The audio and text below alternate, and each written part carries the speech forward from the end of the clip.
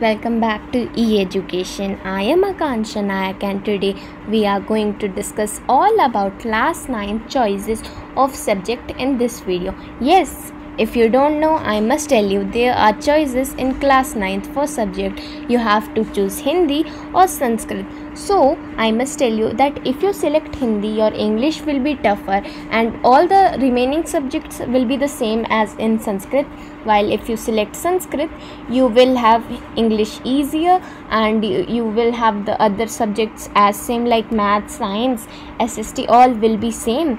Just the English factor is there and if you select Hindi, you have to study Hindi and if you select Sanskrit, you have to study Sanskrit. So the thing which comes in mind is more scoring subject. Which one of them is more scoring?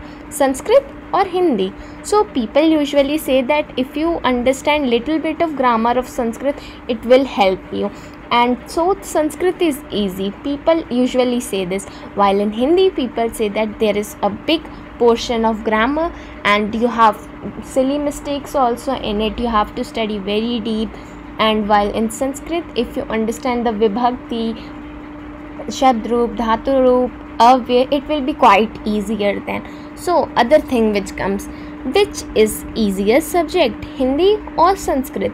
So, I must tell you, remind you the fact of English that if you select Hindi, your English will be tough, while if you select Sanskrit, your English will be easier. So, this fact shows that Hindi is tougher than Sanskrit, but I don't depromote Hindi. I say that Hindi is also, if you understand and if you like it, you must select Hindi.